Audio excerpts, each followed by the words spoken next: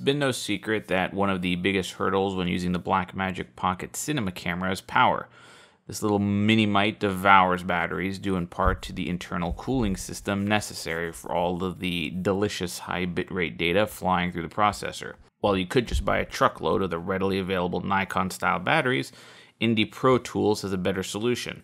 Enter the PowerGrid Dual Power System. This adapter utilizes two Canon LP-E6 batteries, which are the same ones that run in most of Canon's higher end DSLRs. This means that instead of the stock battery's single capacity of 1200 milliamps, you get two 1800 milliamp batteries for a total of 3600 milliamps, which is an increase of 300%. The power grid comes with a mounting bracket to attach to industry standard 15 millimeter rails.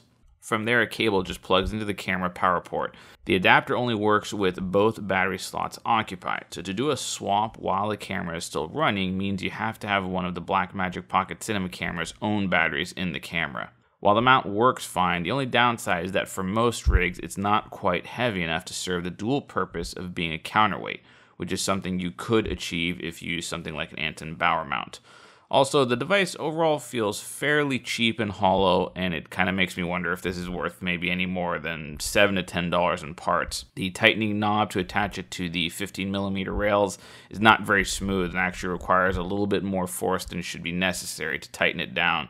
Always give it a little wiggle afterwards just to make sure you've secured it well enough. So, is this worth buying at under $100? Absolutely. Canon LPE6 batteries are cheap and plentiful, and having three times the battery life is a huge step towards making this a viable camera in the field. So, have you tried out the IndiPro tools on your Blackmagic camera? What did you think? Good results, bad results? Leave a comment below and let us know what you think of the device or if this is something that you're going to add later on.